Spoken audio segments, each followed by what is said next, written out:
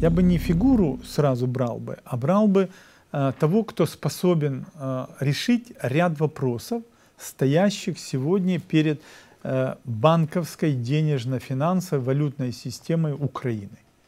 Вот есть ряд э, проблем. И тот, кто даст правильный ответ на вопросы, как он будет решать эти проблемы, того надо и назначать главой Нацбанка.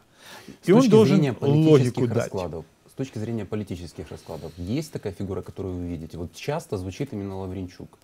Ну, Насколько Лавр... политически ну... сейчас Лавренчук может устраивать там того же президента и разные группы влияния, Лавренчук которые может, влияют на этот процесс? Лавренчук с точки зрения его портфолио, и вот я его лично знаю, он как бы с точки зрения вот просто поставить, ну то есть, э, скажем так, как я его знал, то он как бы, я не знаю за ним ничего плохого. Я на сегодняшний день не знаю. Может оно есть, но я не знаю. С точки зрения его как бы портфолио, его позиционирования, его квалификации, да, это квалифицированный человек, однозначно.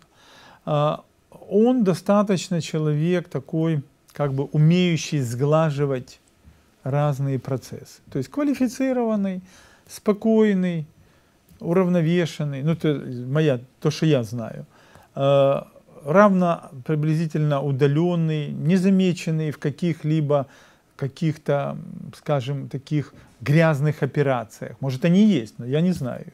Вот такой человек сейчас может устроить, например, банковую и других людей, которые решают сейчас? Порошенко он не устроит. И, наверное, бы устроил Верховный Совет. То есть, если руководствоваться, э, как говорит э, во врачебной практике, не навреди, то я думаю, что он бы мог это сделать. Но надо его прослушивать по каждому. Его должны очень жесткие эксперты, вот просто в открытом режиме, э, но компетентные слушать. Не всякое там, это самое, с квадратными головами в Верховном Совете, которые пить, курить и говорить начали одновременно.